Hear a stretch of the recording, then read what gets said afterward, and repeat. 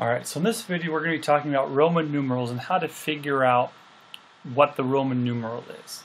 So the rules are up here. Um, if we run out of space, I'll just go ahead and get rid of them. So you can always go ahead and pause it, rewind it, go back and write them down if you like. Um, but these are just the values, or these are the rules that you should follow when you're figuring out Roman numerals. So the first one, it's going to be when a letter repeats, the value repeats. So for example, if you have I, I, I, that's going to equal to 3. Or X, X, X, that's going to equal to 30. On the right, I showed what each letter value is. So I is 1, V is 5, X is 10, L is 50, C is 100, D is 500, and M is 1,000. So if you need to memorize those and you don't know them, it's always good to make flashcards to really work on them and memorize them. Um, so that's going to be the first rule.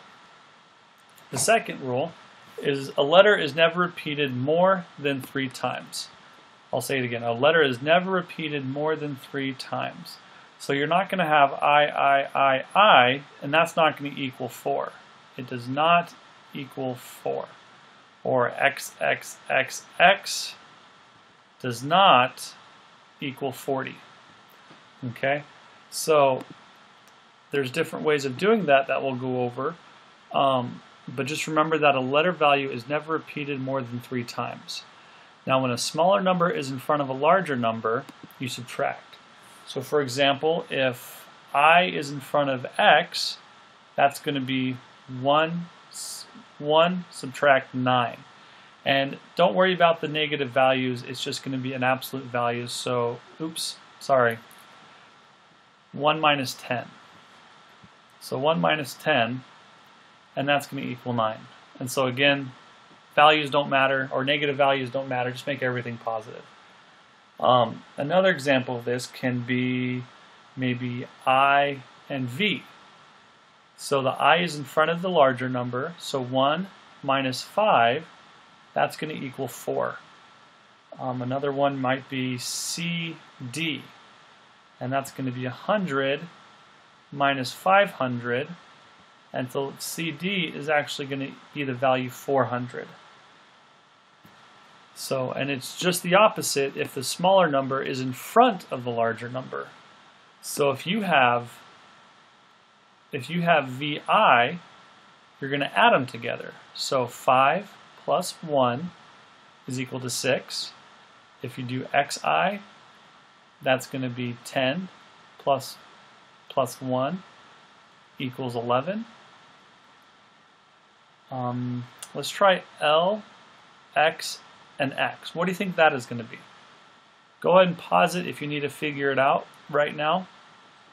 But LXX is going to be 50 plus 10 plus 10 and that's going to equal 70. So there's always good ways to remember these and practice them. Um, or it's always good to remember those. Let's go ahead and go on to the next one. So the next one is never subtract more than one value from a greater numeral value at a time. So you're not going to have i, i, x, and that does not equal 8. But remember, it's going to be more than three times, and so you could just go ahead and do VIII, and that will equal 8. But you cannot subtract more than two, more than one value at the same time. It just doesn't work that way. Um, values that are never subtracted from greater numbers are going to be V, D, and L. And that's because if you have V, and V is 5, but if you have V subtract, oops, if you have V x, that's going to be 5 subtract 10, but that value is going to be 5 anyway, so you would never have that. You would have 5, or you would just have V. So just remember that V, D, and L are never subtracted from each other. And so let's. I'm going to go ahead and write out a few practice problems for these Roman numerals. Um, and you can go ahead and stop and practice them. After I write them down, you can just stop the video and practice them, and it will be very helpful. All right, so we have x and c equals, and we'll have xii equals cclxx mdcxii and then cxx. So go ahead and stop the video now and go ahead and try to do these yourself and I'll just go ahead and write the answers down. Alright, so you have the smaller value that's in front of the larger value, so you're still going to subtract them. So you're going to have 10 subtract 100, and this is going to equal 90.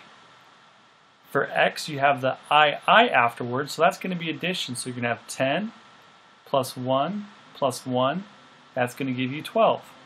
CCLXX, you're going to have 100 plus another 100 plus 50 plus 10 plus another 10, and that's going to give you 270.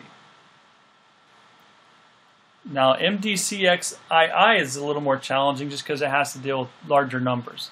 That's going to be 1,000 plus 500 plus 100 plus 10 plus 1 plus 1 and that's going to give you 1,612.